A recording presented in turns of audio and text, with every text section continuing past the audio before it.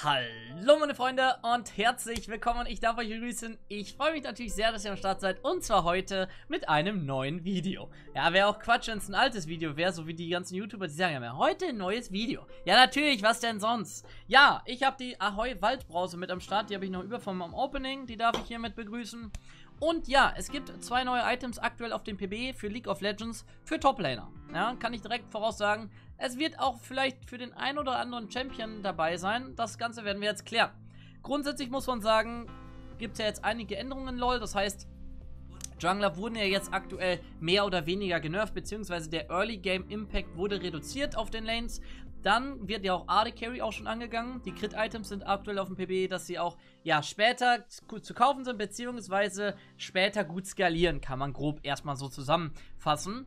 Und jetzt kommen die Top-Laner dran. Top-Laner ist das Problem, ist einfach eine Insel, haben unglaublich wenig Impact im Game und die brauchen wirklich, wirklich mehr Impact. Da wird schon lange beschwert darüber, dass sie ja nicht einfach nicht genug Einfluss im Spiel haben. Und da haben wir als erstes Spear of Sojin. Sojin. Und zwar ist dieses gute Ding, kostet 3000 Gold, ist damit ein Endgame-Item, aber dennoch relativ günstig für dieses. Es gibt ja welche, die hier auch 3,7, 3,5 kosten. Gibt 65 AD, 200 AP und 10% CDR. Für wen ist dieses Item gemacht? Für Champions, die gerne sehr, sehr, sehr, sehr viel AD bauen, aber dennoch sehr hart in den Gegner rein wollen, in die, in die gegnerische Mannschaft rein wollen. Gutes Beispiel hier wäre Riven. Ja, Riven stackt massiv viel AD und springt dann in 3, 4, 5 Leute rein. Anderes gutes Beispiel wäre zum Beispiel Wukong. Ja? Der macht im Prinzip auch genau dasselbe, stackt seine AD und springt dann rein mit seiner Ultimate. Und diese Champions leben davon, dass die Gegner schneller sterben als sie selbst, so mehr oder weniger. Natürlich skaliert Rivens Schild auch mit AD. Dieses Item soll diesen Champions helfen zu überleben, denn es hat zwei Passives. Die erste Passive ist, ihr reduziert den Schaden von Champion Attacks und Abilities, also allem quasi, um 10 Flatwert plus 15% von eurer Bonus Attack Damage. Ja? Wenn wir das also mal nehmen, wird unser Damage hier um 22 reduziert, wenn wir dieses Item mit einem Doran's Blade rushen. Ist also schon, kann man jetzt darüber diskutieren, eskaliert mit Bonus AD, also ein Item, was richtig gut wird, wenn ihr viel AD gekauft habt. Aber ich denke, wenn ihr direkt am Anfang des Item rusht und 22 Damage von allem reduziert, ist das definitiv eigentlich auch schon kein schlechtes Early Game Item, hätte ich gesagt. Denn es geht aber auch noch weiter. Und zwar die zweite Passive. Die zweite Passive ist so, dass ihr, wenn ihr von drei Gegnern umzingelt seid, beziehungsweise in eurer Nähe sind, dann könnt ihr einen Autotag machen und dieser Wert wird verdreifacht. Ja, von 22 auf 66 Damage wird geblockt. Von allem. Ja, von Attacks und von Abilities. Das heißt, ihr seht, wir machen jetzt den Autotag. Bam. Ja, das ist es jetzt. Jetzt haben wir quasi dieses Schild. Das Wichtige, was hierbei ist, Normalerweise sollte das jetzt nicht die ganze Zeit refreshen, wenn ich mich äh, hier Refreshing on Takedown. Er scheint direkt schon verbuggt zu sein. Es refresht einfach permanent. Ist natürlich, obwohl ich hab's hier an, das, daran wird es wahrscheinlich liegen. Ne, Moment. Okay, na, es refresht, wenn ihr einen Takedown macht. Das heißt, wenn ihr mit Riven reingeht und alles umbringt, dann wird es die ganze Zeit um 6 Sekunden immer wieder refreshed. Super coole Mechanik, muss ich sagen. Klingt für mich allerdings etwas broken. Ja, wir können ja einfach das Ganze mal nachempfinden. Wenn eine Riven jetzt ordentlich AD kaufen würde, das heißt, ja, ist immer schwierig, was sie kauft, beziehungsweise unterschiedlich, aber nicht selten wird der Black Cleaver gebaut. Auch hier sowas wird mal gebaut. Gehen wir jetzt einfach noch auf Tiamat. Ach so, Tiamat können wir nicht kaufen. Wir kaufen einfach mal hier noch einen Blutdürster, ist ja gar nicht so wild, ne? Und einfach mal Schuhe dabei. Das heißt, wir kommen auf einen AD-Wert von 325, was definitiv ausbaubar ist, beziehungsweise wir können das hier nochmal wegschmeißen. Da können wir, kaufen wir einfach noch einen Blutdürster. Und wenn wir das Ganze jetzt mal hier sehen, blocken wir mit diesen Items 60 Damage normal und 180 pro Hit. Das ist absolut tasty, muss man sagen. Wir können uns hier einfach mal... Okay, die Riven wird wahrscheinlich, äh, beziehungsweise die Edge wird wahrscheinlich nicht besonders viel Schaden an mir verursachen. Wir machen das hier mal aus. Naja, wir sehen, da steht jedes Mal minus 60 einfach. Da freuen sich auf jeden Fall auch AD-Carries drüber, ne? Weil die machen natürlich viele Hits. Was... Man kann also klar sagen, wogegen ist das Item nämlich schwach? Schwach ist es gegen Items wie die Valga Ultimate als Beispiel. Ne? Es blockt 60 Damage einmal. Da kommt so ein Komet drauf, wird 60 reduziert. Okay. Stark ist dieses Ding vor allem gegen Champions, die tausendmal angreifen oder Dot-Champions werden RIP sein. Ja, ein Timo und Malzer die ganze Zeit Dot, Dot, Dot. Ich denke, das wird jedes Mal reduziert werden. Oder auch eine Ash, die dich, oder Kalista, die dich 30 Mal angreifen. Könnte ziemlich crazy sein. Natürlich könnte man jetzt auch direkt überlegen, hey, was ist denn mit Jin?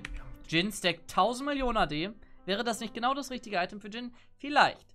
Man muss sagen, Riot hat schon gesagt, die Range, um dieses auszulösen, ist relativ gering. Das heißt, wenn du jetzt wirklich mit Jin diesen Proc haben willst, dann musst du so stehen, als Beispiel. Ungefähr. Ah, übertreiben wir nicht, sagen wir so. Und dann würdest du dieses Schild bekommen. Man könnte auch so sagen. Ja, ne, das würde auch noch, wären auch noch drei Stück. Dann würdest du das Schild bekommen, aber wenn du so nah an den Gegnern dran bist, wirst du wahrscheinlich tot sein. Gehe ich mal sehr, sehr stark von aus. Du willst also normalerweise nicht da reingehen. Trotzdem wäre es ein gutes Item für Jin.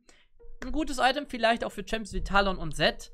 Allerdings muss man sagen, sind das, glaube ich, nicht die richtigen Champions für dieses Item, weil ja, wenn du reingehst, du meistens bist du eh tot, wenn du dann gefokust wirst. Da, ob du dann jetzt 60 weniger kriegst, ja, könnte interessant werden, müssen wir mal schauen. Schauen wir uns das nächste Item an, meine Freunde. Das wird nämlich auch ebenfalls sehr, sehr interessant werden. Und zwar ist das nämlich der gute Atmas Fehler, meine Freunde. Ja, Atmas Reckoning. Dieses Item gab es schon mal. War ein bisschen anders, hat AD und Crit gegeben, also komplett weird.